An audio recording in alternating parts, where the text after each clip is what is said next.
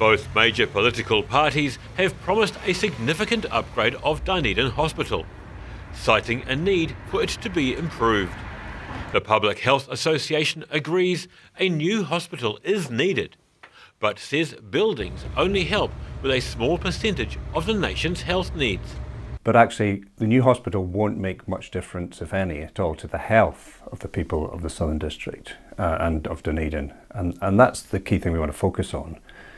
So there's a lot of talk in the health sector at the moment around reducing demand on healthcare services, and there's a lot of effort being put in place to uh, re-engineer the system, it's been called. So look at how patients come into contact with healthcare services and how healthcare services can be more efficient in dealing with them. Reid says a more holistic approach is needed, as a greater percentage of health relates to how the population lives. Because if you've got a healthy population, you have a less demand for health services in the first place.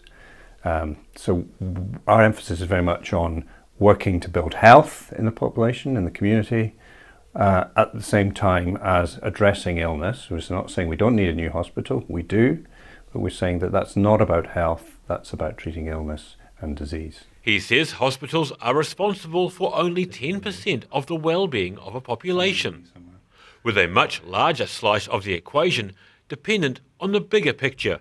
And then about 40% of the health of communities dictated by what's called social economic factors. So those are things like how are our communities organised? How easy is it to to to um, make friends, to connect with those around us? Do you feel safe on the streets? Do you feel safe using the environment around you? Uh, and so it's really important that, that those uh, are not within the control of the health sector. So it's really important that local and national government are on board with this and understand the important role that they have in, in creating health where we live, learn, work and play. Speaking on behalf of the Otago Southland branch of the Public Health Association, Dr. Keith Reid is a public health specialist with many years in the field. Daryl Baser, The South Today.